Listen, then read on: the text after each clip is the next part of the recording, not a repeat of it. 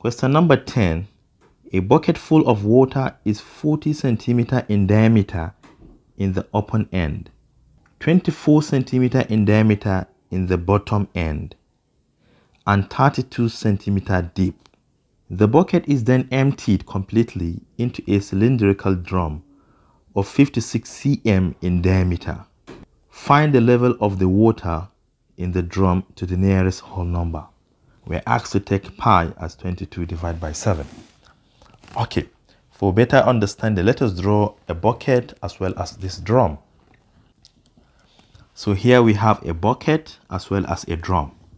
According to this question, the diameter to the top of this bucket is what? 40 cm, which means that 20 will be the radius because I'm interested in the radius alone. So if this is the center this part, this will be what? 20. So this is 20 cm. And to the bottom, it is what? 24 cm and half of 24 is going to be what the radius which is 12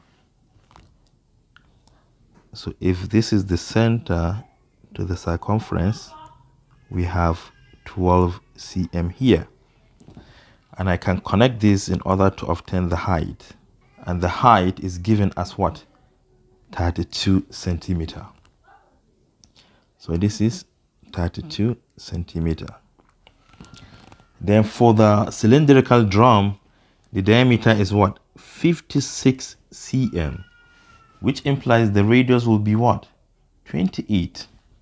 So from the center to the circumference of this cycle will be 28. So it implies that the water here is completely filled up and the water is also completely emptied into this container, which is what in cylindrical form. So we are asked to find the height of the water in this cylindrical container.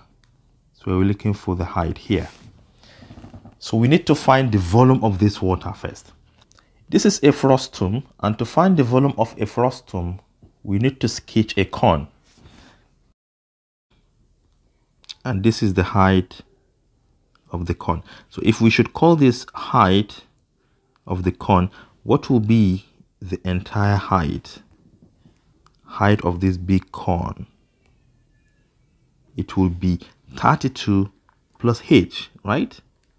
So this is 32 plus h. So if you observe, we have a smaller cone here, which has a height of h, and the big cone here, which has a height of 32 plus h. So we are going to apply the idea of what? Similar shape in order to find the volume of H. Because to find the volume of the frustum, we need to find the volume of the entire cone, the big cone here. Then also we need to find the volume of this smaller cone. Then subtract the volume of this smaller cone from the volume of the entire big cone. What is left will be the volume of the frustum. And to do that, we need this H definitely. So let me do something here because we have a big cone we have small cone let's write some parameters here the big cone has a radius of 20 cm so let me use capital R for the big radius is what 20 cm and it has a height of 32 plus h so I will use capital H for the height. That is 32 plus H. Then for the smaller cone, it has a radius of what? 12 cm. And the height remain what? H. So you should know that according to the similar shape, this capital R divided by the small r will be equal to capital H divided by the small h. So capital R is 20, small r is 12. This is equal to capital H is 32 plus h and small h is h. Then by cross multiplication, we have 20 multiplied by h which is going to give us what? 20 H. This is equal to 12 times 32 is going to give us what? 384 then plus 12 times h is 12 h. If you take this 12 to the left hand side it becomes negative and 20 minus 12 is 8 so we have 8 h equal to 384 then we divide both sides by 8 and hence h equal to what? 48 cm. And therefore the height of that smaller cone is nothing but 48 cm. So how can we obtain the height of the bigger cone we can simply plug it here 48 right? To get the height of the bigger cone therefore capital H which is equal to um, 32 plus H 32 plus h is now equal to what? 32 plus 48 which is going to give us 80 cm. Therefore capital H is 80 cm so now let us go ahead and find the volume of the bigger cone as well as the smaller cone we are coming back to this one don't forget. So the volume of the big cone let me say v sub b this is equal to remember that volume of a cone is 1 over 3 multiplied by the volume of a cylinder and the volume of a cylinder is what? Pi r squared h. So we're going to take pi r squared h. Because remember we are using capital letter for the bigger cone and this is equal to 1 over 3 multiplied by they say we should use 22 over 7 as our pi. And capital R remember is 20 squared. Then multiply by h which is 80 so what I will be doing here I will take 22 times 400 times 80 right? And this is 704 000 divide by 3 times 7 is 21 then we divide. If you divide by 21 you have uh, 33523.81 cm cube.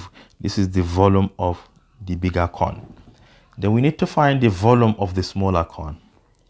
Volume of the smaller cone is equal to 1 over 3 pi r squared h. Everything small letter. This is 1 over 3 pi is 22 divided by 7 remember our radius for the smaller cone is 12 squared. Then what is the height the height is what? 48 so we have 48 here. So let's simplify. We have 22 times 144 because 12 squared is 144 times 48 that will give us 152064 divide by 3 times 7 is 21 and if you divide by 21 you have 7241.14 cm cubed this is the volume of the smaller cone so to find the volume of the frustum, which is the bucket, volume of frustum is equal to volume of the bigger cone minus volume of what? The smaller cone. So the volume of the bigger cone, I think let me just copy that. This is the volume of the bigger cone, the minus volume of the smaller cone, which we have here. Okay, all we have to do is to subtract and we have 26,282.67 um, 67 cm cube so this is said to be the volume of the water in that bucket but remember that this volume entire volume here has been poured completely into a cylindrical container which is right here. So we want to find the height, the level of that water. So remember that the volume of a cylinder is equal to what? Pi r squared h. And the volume is already known because the volume of the water will be the same volume after you have poured it into the cylindrical container. So we have our volume, we have our pi, which is 22 over 7. We have the radius, which is 28. Then we make h the subject. So how can we make h the subject? It will be volume divided by pi r squared. And that's just it. So what is the volume? The volume is what we have just obtained here. Let me pick it. So here is it. Then divide by um, 22 over 7. Multiply by the radius squared, which is 28 squared. 28 squared. And this is equal to 26 282.67 divide by let me use my calculator to simplify this in decimal. That will give us exactly 2464 then we equally divide 26,282.67 divided by 2,464 is equal to 10.67 approximately. But remember they said to the nearest whole number. So we are going to approximate it to 11 I remember that this is what in centimeters. And hence the height of the water in this cylindrical container is 11 cm to the nearest whole number. And hence we have just answered this question.